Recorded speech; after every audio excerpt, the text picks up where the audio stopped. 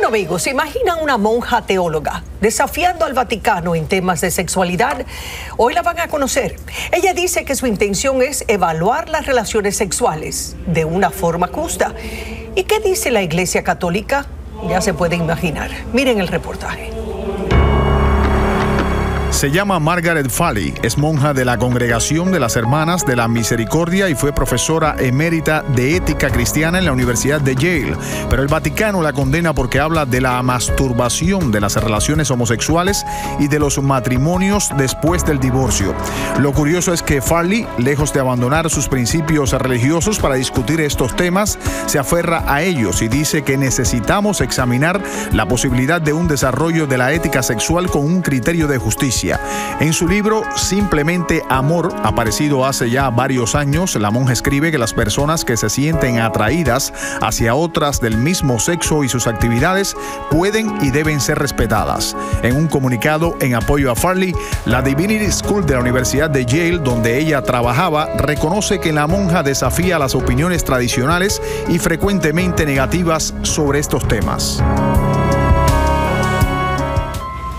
Y sin esperar a más, vamos con nuestros invitados, el sexólogo Alberto Domínguez Vale y Eladio Ernesto. Bienvenidos a los dos. Muchas gracias. Caballeros y señoras y señoritas, esta no es cualquier cosa. Esta es una monja, esta es una teóloga, esta es una, una fuerza grande, eh, una persona que no ha sido excomulgada. Eh, hay que tomar eh, en serio sus comentarios.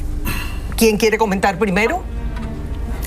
Yo pienso que lo que llama la atención de esta noticia es que quien lo está diciendo es una monja. Lo que ella ha dicho no es nuevo. Ella desde el fondo de la institución que ha sido más inhibidora de estas cosas o más represora con respecto a lo que ella está diciendo que es justo que cambiemos, está haciendo esta proclamación cuando por supuesto desde hace muchos años esto se está diciendo. Y ese es el valor. El valor que ella tiene es, estando dentro de la institución que lo prohíbe, decir, ¿saben qué?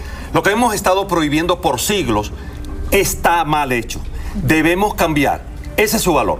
Pero no es nada nuevo, no es nada nuevo que la masturbación es totalmente normal y es una parte normal del desarrollo y de la expresión sexual.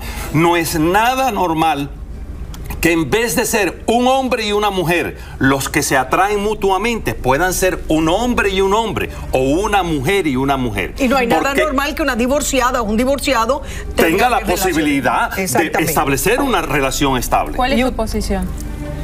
A ver, eh, estamos ante una persona muy poco seria, porque si esta señora, y le digo señora porque si ella es monja, yo soy monje, si ella tuviera un, poquitico, si ella tuviera un poquitico de respeto por sí misma, ya hace rato que hubiera dejado a la Iglesia Católica, si hubiera unido a una secta que esté afín y acorde con sus ideas y hubiera dejado de cobrar en los cheques la plata que ha estado cobrando todos estos años, disfrazándose como monja católica cuando es público y notorio que por más de 20 años esta señora ha estado atacando, subvirtiendo y socavando todo lo que la iglesia que ella dice que pertenece enseña. Luego entonces no es una persona ni seria ni se respeta a sí misma, porque si se respetara un poquitico, ya hubiera devuelto toda la plata que ha cobrado como monja católica. Yo no estoy para nada de acuerdo con usted. Y hubiera, y hubiera, y hubiera abandonado. Yo creo que la, señora lo que tiene es una valentía enorme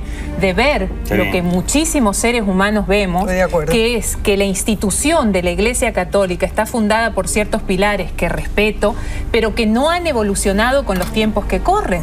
Una institución que tiene sobre sus espaldas un montón de crímenes, hasta inclusive crímenes con niños, usted me está diciendo que esta señora está cobrando y que no tiene la valentía, ese comentario no es serio participo de una institución en la que creo, pero que necesita ni es ético ese, ese, comentario, porque usted está haciendo acusaciones aquí generalizadas que se pudieran hacer de todos los grupos que, están en la faz de, la tierra. Pero Ladio, no estamos hablando no es justo de la iglesia, estamos hablando de la iglesia. tiene una doctrina.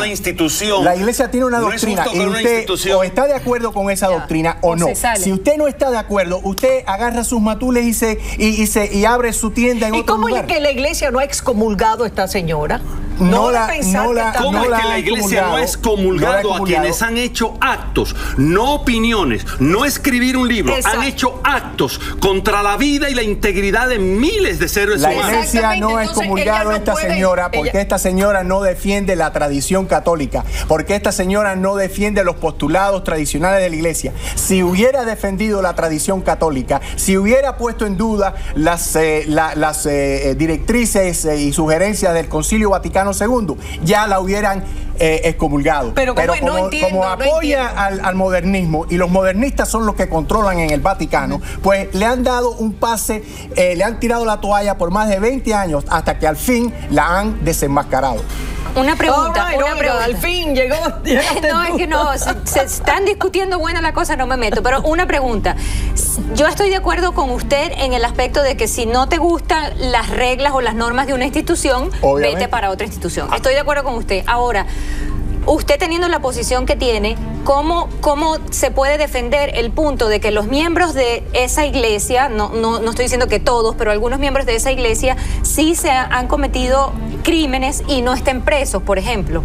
Hay maestros, que, hay maestros que, han cometido crímenes, hay políticos que han cometido crímenes. Ya, ya he dicho que eh, sobre la faz de la tierra todas las organizaciones, eh, sin, no hay excepción de ninguna, los partidos políticos, todos tienen eh, personas que han cometido crímenes. Eladio, pero qué, qué algo horrible es hablar de la homosexualidad, que hablar de los divorcios, que hablar de la... Que, pero ¿en qué mundo estamos viviendo? ¿En qué mundo? No en balde la iglesia Católica el la señora está Farley está perdiendo tantos seguidores. Si estuviera la Iglesia Católica perdiendo tantos seguidores, pues no hubieran tanta gente preocupada por esto, porque hay muchos enemigos de la Iglesia y estuvieran aplaudiendo que la Iglesia los está perdiendo. Así que se estuvieran alegrando, pero sin embargo atacan a la Iglesia precisamente porque no está perdiendo feligreses cuando se defiende la doctrina tradicional de la Iglesia. Bueno, doctor, entonces yo, yo no quiero llover sobre lo mojado. Sobre lo mojado. Ah, pues yo siento, yo siento que hay personas, con todo su respeto, se lo digo a usted, que están ciegas. Y tienen el sol enfrente y están diciendo, esto está totalmente oscuro. Ante esas personas, yo no discuto. Yo lo yo tampoco. Por eso yo no discutiría con usted, porque usted está muy cerrado a, estos puntos de vista y ah. tiene el sol delante de su propia cara y usted quiere cambiar el sol por la luna. en psiquiatría se llama esto que usted acaba de hacer proyección. Ah. Bueno, en la iglesia, ¿qué significa que, ¿Qué significa que me está mandando la bola que yo le he mandado a él? y usted me manda a mí la bola suya, así que estamos en el mismo bote, amigo Yo, mi pregunta es, estamos en el mismo bote. cree en la iglesia católica? Y, ¿Usted no se hace preguntas? ¿Usted no se cuestiona nada? Lo sigue todo, sigue todos los preceptos. Yo me cuestiono todo porque, porque la, obediencia católica es una obediencia discreta. Eh, la, la, iglesia enseña que el verdadero católico no puede ser obedientemente ciego. Tiene que evaluar todo a la luz de la razón. no, la luz no es, ciega. Pero usted sabe que yo soy católica también, pero soy católica diferente. Tú eres católica también. Crees en Dios, creemos. Hay muchos tipos de católicos. Yo, yo creo en Dios y, me siento que soy una persona buena. Voy a misa, me gustan los sermones, comulgo cuando quiero comulgar. Yo, la, usted la fe es una virtud. La fe es una virtud porque es razonable porque se puede razonar a la luz de la revelación. ¿Qué razonamiento tiene usted, mi amigo, para decir a una persona que ama a otra y realmente la ama y la respeta y vive con ella por el resto de su vida, la defiende y muere con ella porque sea de sexo opuesto, que eso no es adecuado?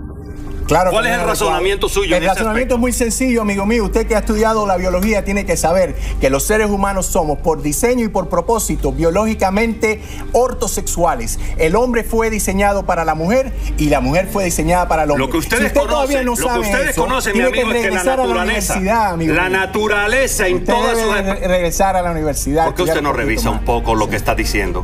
Eh, eh, a mí, a mí ¿sabe qué? ¿Sabe qué?